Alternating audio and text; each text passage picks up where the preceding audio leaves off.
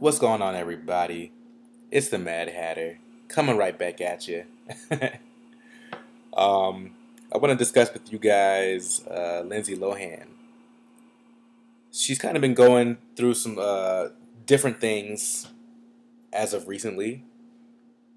Oh, and again, it's uh, I don't want to forget to do this, but it is uh, February twenty third, twenty seventeen, nine twelve p.m. Uh, so you know Lindsay Lohan, the star of Mean Girls, the kind of wonder child Disney star. With uh, she played in the uh, Freaky Friday remix. With I can't even think of her damn name right now, which is kind of uh, pathetic. But you know, she she had a lot of potential at first, uh, and then she went through some shit. Uh, whether it's her own fault or not, you know, I think a lot of it also is Hollywood in that sort of situation. But anyway, you know, she went through some shit and she's kind of recovering, I think, a little bit. But before I even get into that, I want to talk about why she's in the news recently. There's many reasons, but the main reason is is that she says that she was racially profiled at an airport because of a uh, headscarf uh, that she was wearing. Uh, I'm probably not using the proper term, so you know somebody definitely correct me on that. But you know the uh, what people of a lot of Muslim countries wear, what women wear when they uh, you know cover their ears and you know most of their neck.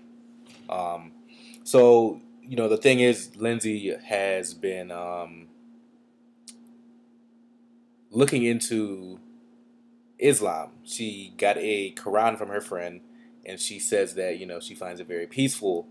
Um, this is what she says, and so she was actually recently in Turkey with, uh, I believe, President Erdogan and a Syrian seven seven year old uh, Syrian girl who's actually been pretty popular because uh, she tweets like I think uh, I believe she's tweeting from she has been tweeting from or she has in the past tweeted from the uh, conflict zone.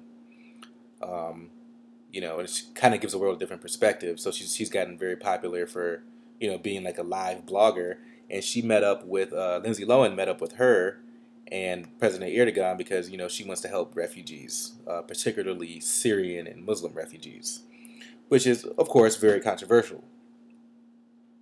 Um, so yeah, she says that she was racially profiled at an airport. Now, my thing is like, is this just another example of a privileged white woman uh, taking on the cause of uh, other people and you know, not living her authentic life as a, like that Rachel Dolezal woman who was the white woman who was acting black to be, um, uh, and she ended up being the head of one of the local chapters of the NAACP.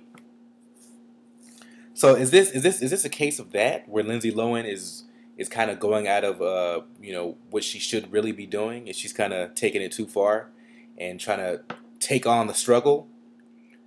My thing is like. Uh, Possibly, but my thing is always I think it's fine if if somebody of a privileged culture wants to understand more and use their customs, you know, understand more uh, a, a, different culture. I, I, think that's fine.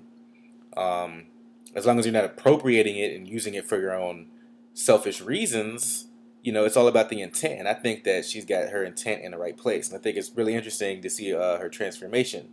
Now, let me talk about some of the things that she's done recently, some of the things that she said. She also says uh, that she wants to meet with Donald Trump uh, because she wants the country to unite with him. She basically says if you can't beat him, join him. But she's she says that look, man, people are being kind of dramatic. Uh, she said that in the uh, Piers Morgan uh, "Good Morning Britain" episode, whatever you call it. Piers Morgan definitely uh, asked a leading question to her he, you know, asked her, does she think that people are being dramatic? But she did. She said yes. He said, uh, I think people are being a bit, a bit dramatic.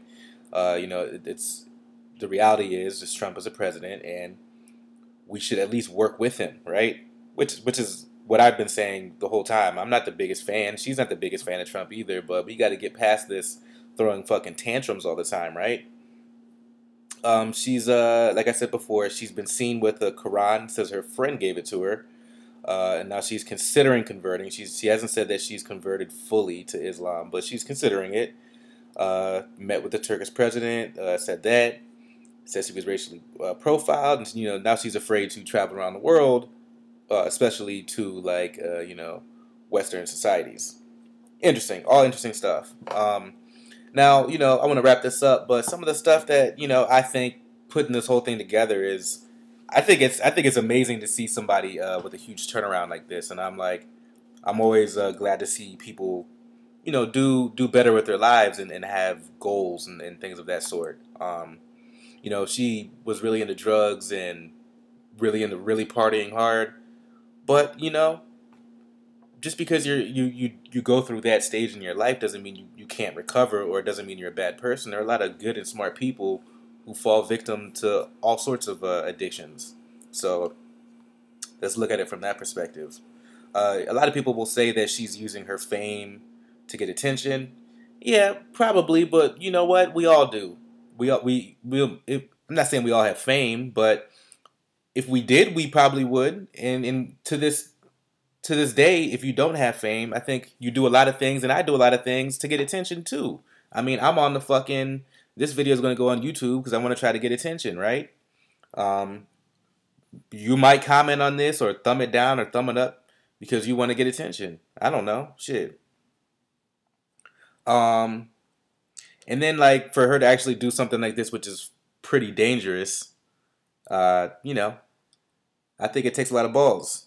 Um, I think again, I think she's expanding herself and she's looking at the world right now from a calm, collected approach, which I think, which I think is very important right now, and we don't see a lot of. Now, I'm not saying that everybody should be calm and, and collected. You know, it's a balance. We need people taking different positions from all over the place, but I think she's playing her part well. Um, yeah, and the last thing I want to say about this is, you know, who knows what this really is about. Um, it seems like she's doing the right things, but you know, with her being a Disney child and a victim of MK Ultra, I'm not aware. I have no idea what this really could be. This could be some sort of, you know, COINTELPRO. Um, it could be anything, but from the looks of it, you know, she's not really taking one side or another. She's taking a measured approach. Again, she's not, you know, fully into let's uh, allow you know, Islam and that culture and that way of thinking to infiltrate the American way of thinking. And she's not saying that, you know, she's not saying fuck them either. And she's not saying I totally love Trump. She's just saying let's try to work together and let's try to expand and broaden our way of thinking. I think that deserves a bit of an applause. Maybe I'm wrong. Whatever. Let me know what y'all think. I'm out.